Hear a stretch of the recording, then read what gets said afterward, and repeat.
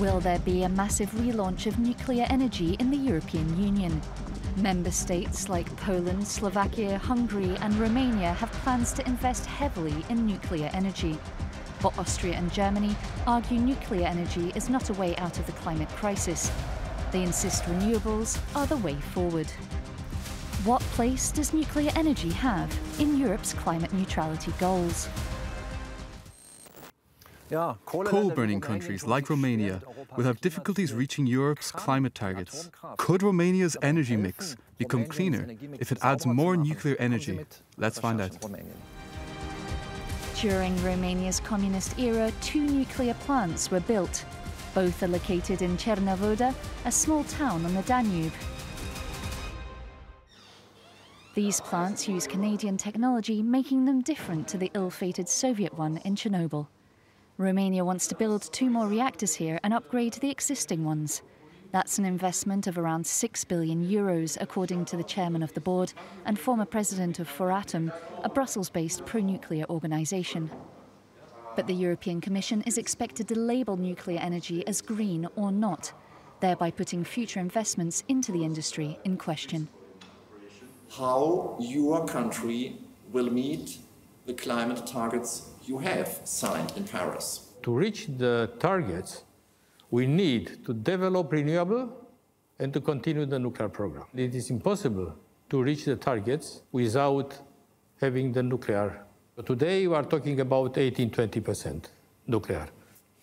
30 35% nuclear is a feasible figure if we are going on, on the trend we are now by 2050 regarding this very amazing debate we have right now in Europe about labeling nuclear energy green or not green. How do you explain this passion?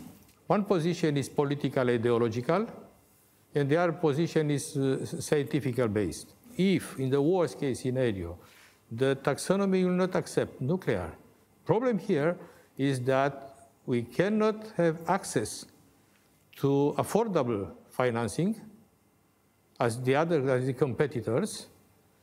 And uh, so that it's, it might affect the economic part of the project. We meet one of the main figures in Romania's still small anti nuclear movement. She tells us that using public funds to invest in nuclear energy will have a negative impact on the development of renewables. There are plans to build further nuclear plants. Is this a good or a bad idea, given the fact that the climate targets of Romania should be reached somehow?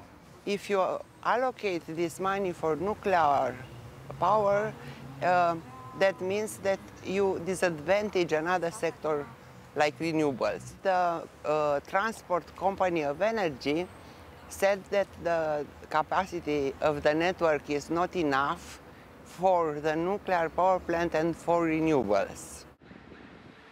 There is one other problem.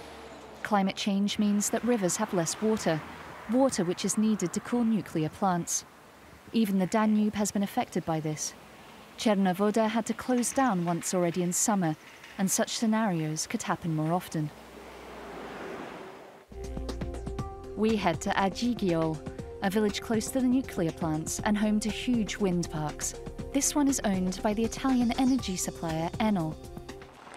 The race is on to see who can grab a part of Romania's future energy mix. Investments into power supplies depend on a stable legal framework in Romania. A few years ago, the government backed the development of renewables with green certificates. But this scheme stopped and investors pulled out. Only a few big energy giants like Enel stayed. We meet the supervisor of these 133 wind turbines.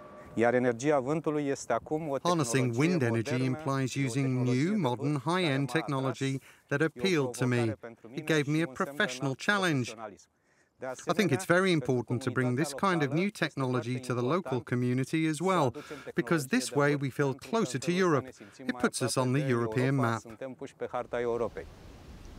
There is no doubt that Romania's wind energy potential is not yet fully exploited. Many more turbines could be installed. Classic fossil fuel energy sources are limited and pollute.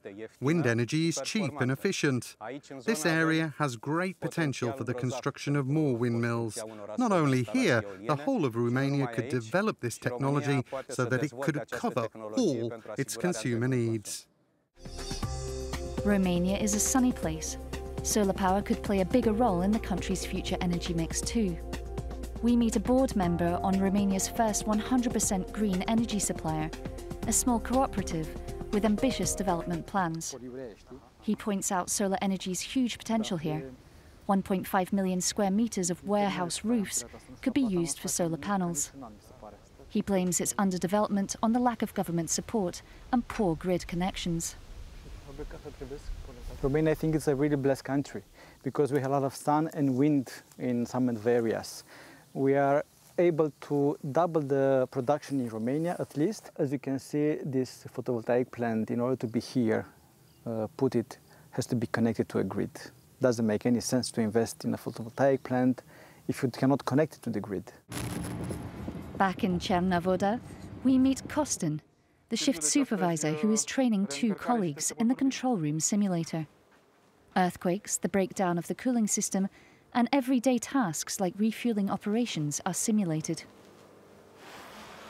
On his way home, Costin is still thinking about energy.